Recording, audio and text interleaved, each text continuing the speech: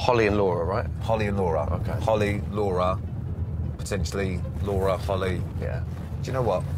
It's wrong what everyone says about us. We are classy. Yeah, real classy. Stop picking your nose, Gary.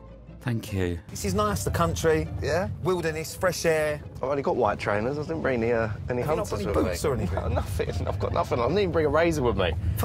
I know. Gary. I thought we'd be in a hotel. I thought I'd be able to get all this. Need a razor. We're only here for a night. You know, a little trim up if I need to downstairs. Bit of manscaping, you know. Oh, God. What do you need manscaping? What you you hoping to get lucky tonight? Well, uh, you, I just Well, don't. yeah, You just never know, do you?